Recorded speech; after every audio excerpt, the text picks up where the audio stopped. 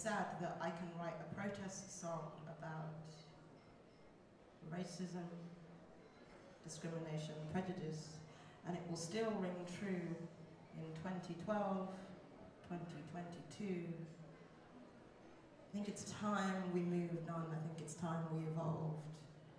Um, this is my protest song called Remedy off of the last record.